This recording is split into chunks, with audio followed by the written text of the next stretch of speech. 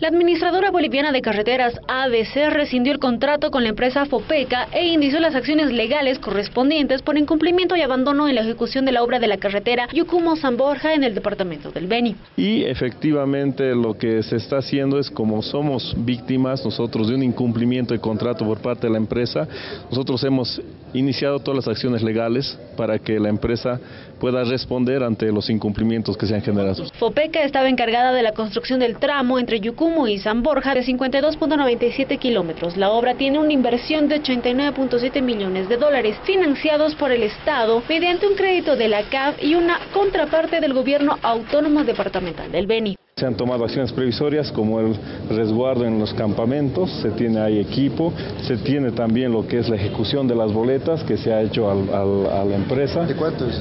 Estamos hablando de más o menos 4 millones de bolivianos y también lo que se tiene es justamente el mantenimiento de la vía. El pasado 22 de marzo, la ABC determinó resolver el contrato con Fopeca y ejecutar las boletas de garantía por un monto de 4.2 millones de dólares, luego de haber dado plazo a la empresa para resolver o rectificar el incumplimiento de las obras.